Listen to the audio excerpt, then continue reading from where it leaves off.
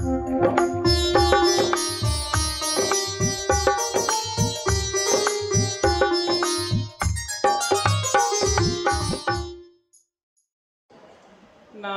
नारायण नारायण नारायण नारायण नारायण नारायण नारायण नारायण। दस बजकर fifty nine minute. आँखें बंद कर लीजिए। धीमी धीमी सांस भीतर और धीमी धीमी सांस बाहर। ध्यान हमारा आती जाती सांसों की ओर। दुर्लभ साँसें हैं ये।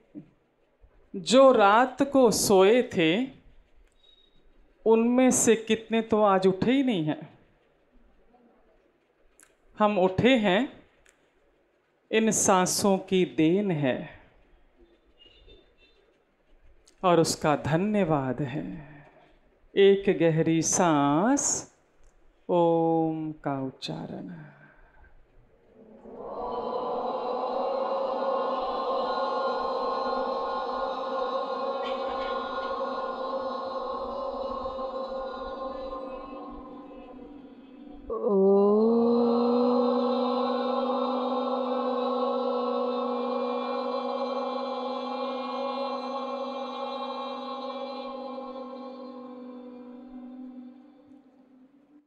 सर्वशक्ति मते परमात्मने श्रीरामाय नमः। सर्वशक्तिमते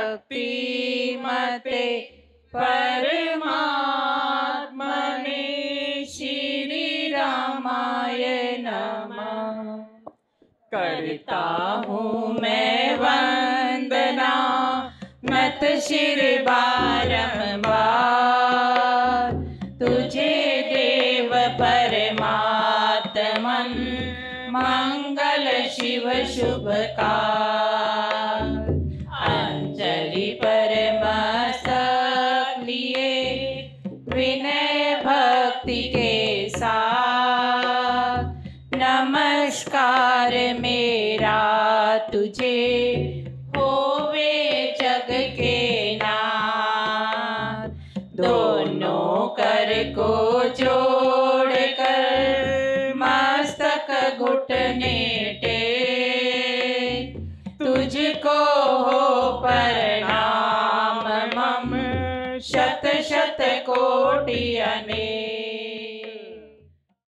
आदरणीय भाइयों और बहनों, आप सभी में विराजित उस सर्वशक्तिमान परमेश्वर को मेरा शत शत नमन।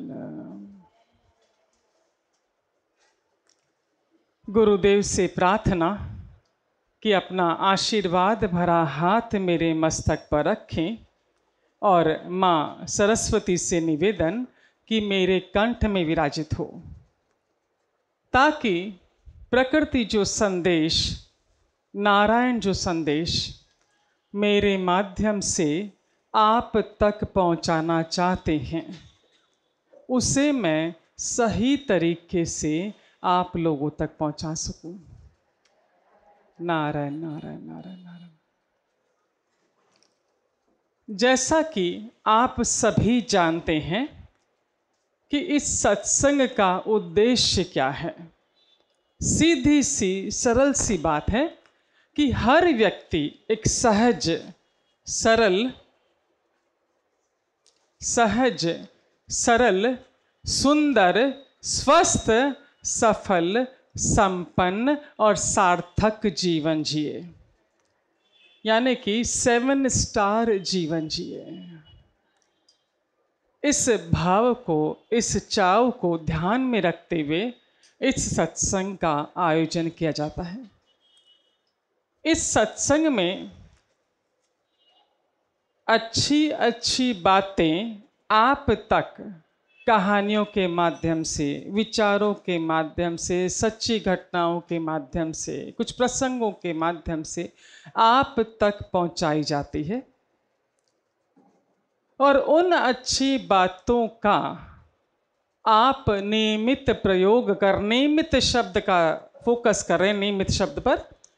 उन बातों का नियमित प्रयोग कर आप एक सेवन स्टार जीवन आसानी से जी सकते हैं। इसी कड़ी को आगे बढ़ाते हुए आज के सत्र की शुरुआत करते हैं। आज का सत्र किस तरह होगा? आज का विषय है टॉपिक है आत्मविश्वास कैसे बढ़ाएँ या व्हील पावर कैसे बढ़ाएँ? क्योंकि आत्मविश्वास का डोज यदि अधिक हो जाता है तो वो व्हील पावर में कन्वर्ट हो जाता है। पर ओवर कॉन्फिडेंस और व्हील पावर में फ़र्क है। वो सब आपको साइंटिफिक वे से बताएँगे। तो आज का विषय है कि आत्म, आत्मशक्ति किस तरह बढ़ाएँ। तो पहला दो अध्याय टोटल में आप तक पहुँचेंगे। पहला अध्याय और बीच में छोटा सा अवकाश। अवकाश कैसे? दो या तीन मिनट का। वो आप पर निर्भर करता है कि आप तीन मिनट लेते हैं कि पाँच मिनट लेते हैं। बस उतना ही मिलेगा। उस अवकाश में, इस पिछले सत्संगों में आपने जो कुछ सुना, सीखा, समझा और अपने जीवन में यदि लागू किया है तो ये परिवर्तन आया। वो थोड़े शब्दों में वो बातें आपको यहाँ आकर सब तक पहुँचानी है। मैक्सिमम चार लोगों को मौका मिलेगा अपनी बात शेयर करने का। तो उसमें हमारे पास तीन तो पोलो है। मालूम है ना पोलो? और एक छप्पन करोड़ का लिफाफा है। तो जिसकी सबसे बढ़िया शेयरिंग होगी, उसको छप्पन करोड़ का लिफाफा। मालूम है ना, पचास का एक नोट, ऊपर छः रुपया। हाँ और और तीन पोलो जिसकी शेयरिंग जैसी होगी उसको। तीन से ऊपर शेयरिंग गई तो चुनेंगे किसकी किसमें ज़्यादा परिवर्तन आया है, उसको इनाम स्वरूप। और यदि और अधिक पब्लिक हुई तो लॉटरी सिस्टम हाँ तो चलिए शुरू करते हैं आज का पहला अध्याय। और हमेशा की तरह मिस्टर राघव के माध्यम से। मिस्टर राघव कहते हैं कि मेरा बेटा शिवा न्यूज़पेपर में छपी एक खबर पढ़ रहा था।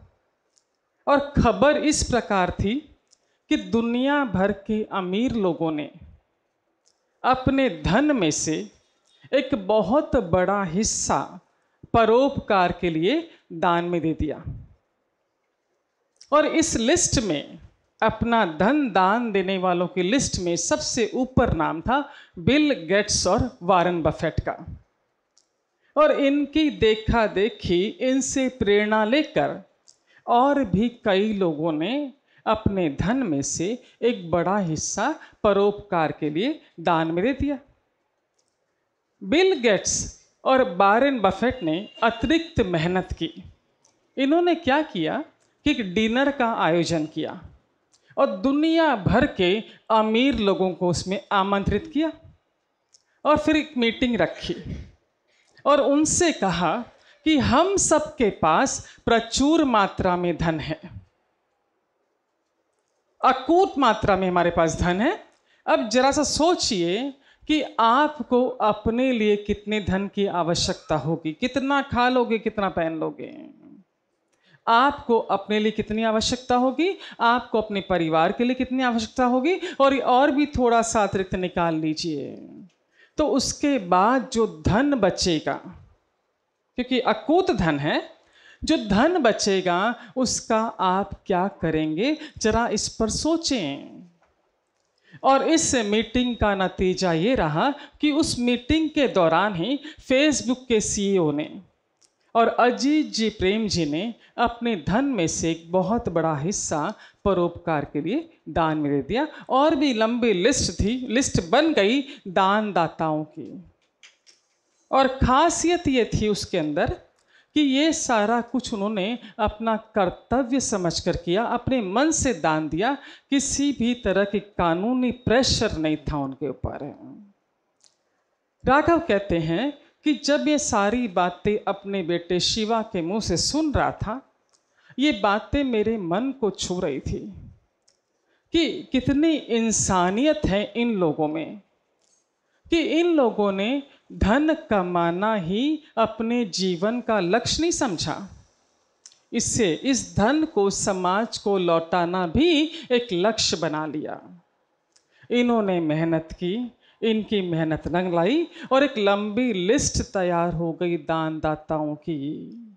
और एक बहुत बड़ी रकम परोपकार के हिस्से चली गई। मेरे दिमाग में राघव कहते हैं कि ये बातें चल रही थी और वो खबर पढ़कर जो ही मेरे बेटे शिवा ने न्यूज़पेपर नीचे रखा, मेरे बगल में मेरा मित्र केशव बैठा हुआ था। वो झट बोल पड़ा कि कौन सी बड़ी बात है धन दान में दिया तो? उनके पास प्रचुर मात्रा में है, दे दिया। यदि हमारे पास होता तो हम भी दे देते। हमारे पास नहीं तो कहाँ से दें? राघव कहते हैं कि सुनकर मुझे अच्छा नहीं लगा कि ये कहना कि हमारे पास नहीं है तो कहाँ से दें? इस तरह हाथ झटक लेना।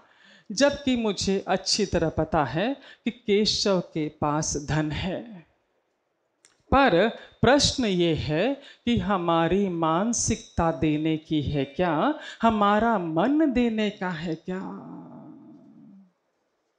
राघव कहते हैं कि मेरे पिताजी हमेशा कहा करते थे कि ये मत कहो कि मेरे पास होगा तो दूँगा। जितना है, जैसा भी है, देना शुरू करो।